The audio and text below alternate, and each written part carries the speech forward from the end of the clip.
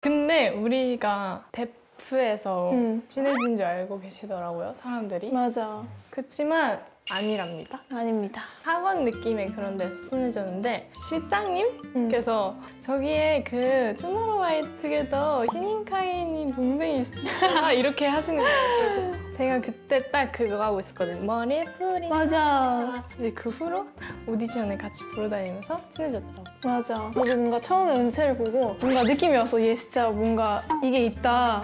잘 될 것 같다라는 느낌이 있었어.